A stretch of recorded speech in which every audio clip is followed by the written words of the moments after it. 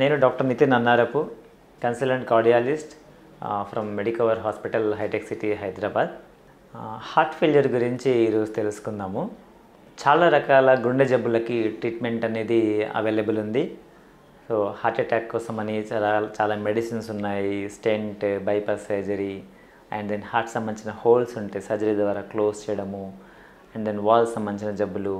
అన్నిటి కూడా చాలా వరకు ట్రీట్మెంట్ ఆప్షన్స్ అనేది ఉన్నాయి. సో వీటి వల్ల చాలామంది కూడా వాళ్ళ లైఫ్ ఎక్స్పెక్టెన్సీ పెరిగింది. అండ్ చాలా సంవత్సరాలు వాళ్ళ జీవన పరిమితి పెరిగింది. కాకపోతే చాలామంది తర్వాత ఒక వయసు తర్వాత హార్ట్ ఫెయిల్యూర్లోకి వెళ్తున్నారు. అంటే ఒకసారి హార్ట్ అటాక్ వచ్చిన తర్వాత ఎంతో కొంత హార్ట్ అనేది కొద్దిగా దెబ్బతింటుంది. అండ్ దా దాని ద్వారా తర్వాత తర్వాత తర్వాత ఎన్ని ట్రీట్మెంట్స్ ఉన్నా కానీ ఫైనల్లీ మెల్లిమెల్లిగా హార్ట్ వీక్ అవడం అనేది సో దానివల్ల ఇబ్బంది పడడం అనేది జరుగుతుంది. హార్ట్ ఫెయిల్యూర్ అంటే ఏంటి? హార్ట్ ఫెయిల్యూర్ అంటే త- హార్ట్కి తగినంత బలం లేకపోవడం వల్ల దానివల్ల మనకి వచ్చే ఇబ్బంది రెండు రకాలుగా ఉంటుంది. హార్ట్ ఫెయిల్యూర్లో దా తగినంత బలం లేకపోవడం వల్ల హార్ట్ నుంచి బయటికి వచ్చే బ్లడ్ తక్కువగా ఉంటుంది. దానివల్ల బీపీ కొద్దిగా లో అవుతుంది.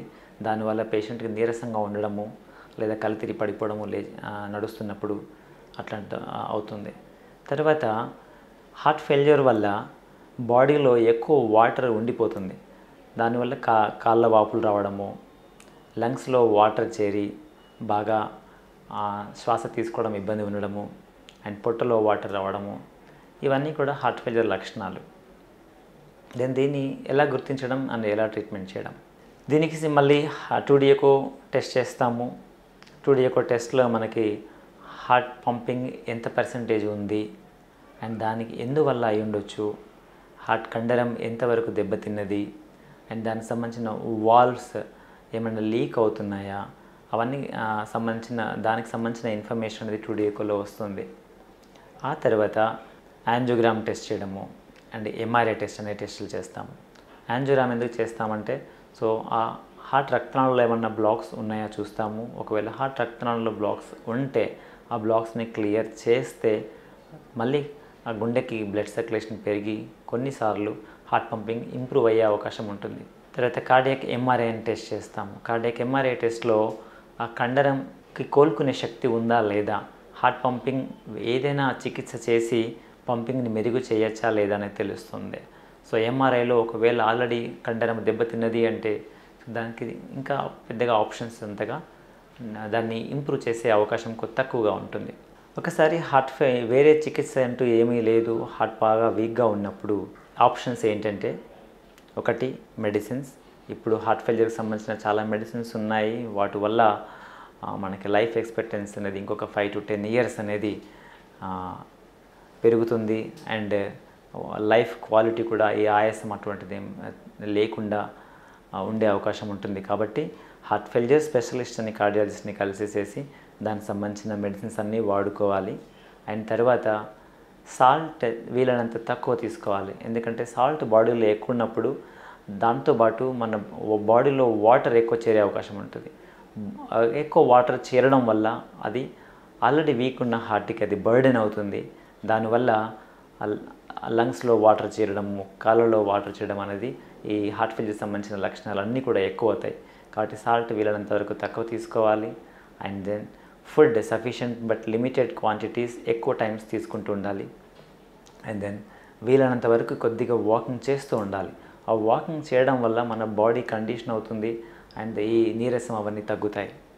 బట్ ఎంతవరకు వాకింగ్ చేయాలనేది ట్రీటింగ్ డాక్టర్ ఎవరైతే కార్డియాలజిస్ట్ ఉన్నారో వాళ్ళు డిసైడ్ చేస్తారు మీ హార్ట్ పంపింగ్ని బట్టి. అండ్ తర్వాత బీపీ ఎక్కువడం వల్ల హార్ట్ ఫెయిల్యూర్ ఎక్కువ అవుతుంది. కాబట్టి బీపీని ఆల్వేస్ కంట్రోల్లో ఉంచుకోవాలి. And then sugar and cholesterol కంట్రోల్లో ఉంచుకోవాలి. స్మోకింగ్ అవాయిడ్ చేయాలి. అండ్ దెన్ ఆల్కహాల్ తీసుకోవడం వల్ల ఇంకా హార్ట్ పంపింగ్ తగ్గుతుంది. హార్ట్ మజిల్ దెబ్బతింటుంది. కాబట్టి హార్ట్ ఫెయిల్యూర్ ఉన్న వాళ్ళు ఆల్కహాల్ అసలే తీసుకోకూడదు. అండ్ తర్వాత రెగ్యులర్గా ఈ మెడిసిన్స్ అన్నీ తీసుకుంటూ ఉండాలి. దాంతోపాటు రెగ్యులర్గా వెయిట్ చెక్ చేసుకోవడం అనేది ఇంపార్టెంట్ హార్ట్ ఫెయిల్యూర్ పేషెంట్స్. ఎందుకంటే సో యూజువల్గా హార్ట్ ఫెయిల్యూర్ వల్ల పెరుగుతూ ఇబ్బంది అవుతున్నప్పుడు దానికంటే ముందు మనం మెల్లిమెల్లగా మన బాడీలో వాటర్ ఎక్కువ చేరుతూ ఉంటుంది. దానివల్ల వెయిట్ పెరుగుతుంది. సో మనం రెగ్యులర్గా వెయిట్ చూసుకుంటూ ఉండి సడన్గా వెయిట్ పెరిగింది అంటే దాని అర్థం ఏంటంటే మన బాడీలో ఎక్కువ వాటర్ ఉండిపోయింది అండ్ దెన్ దానివల్ల మనం హాస్పిటల్లో అడ్మిట్ అయ్యే అవకాశం ఎక్కువ అవుతుంది. సో కాబట్టి వెయిట్ రెగ్యులర్గా మెయింటైన్ చేసుకోవడానికి ప్రయత్నం చేయాలి.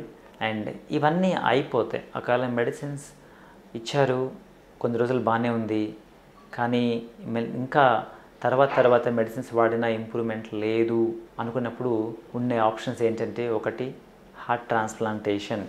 అంటే గుండె మార్పిడి. సో వేరే వాళ్ళ గుండె తీసి ఆ గుండెని గుండెని మార్పిడి చేయడం అనేది. సో ఇది ఇప్పుడు చాలా వరకు గుండె మార్పిడి అనేది రొటీన్గా జరుగుతుంది. అండ్ దీనివల్ల పది సంవత్సరాల కంటే ఎక్కువ కూడా జీవించగలుగుతున్నారు గుండె మార్పిడి. ఓన్లీ థింగ్ ఏంటంటే సో అంత ఈజీ కాదు. అంటే అవైలబిలిటీ ఆఫ్ డోనార్స్. అంటే గుండెని డొనేట్ చేసే వాళ్ళు అంటే already just brain dead patients అంటాం. సో వాళ్ళ మిగిలిన brain is not functioning brain పనిచేయట్లేదు ఎస్పెషల్లీ ఆఫ్టర్ యాక్సిడెంట్ వాటిలో. And but heart is completely normal అటువంటి వాళ్ళని సో ఆ హార్ట్ని తీసి హార్ట్ ఫెయిలియర్ పేషెంట్స్కి అమరుస్తాము. కానీ అది అంత ఈజీగా జరగడం కష్టము.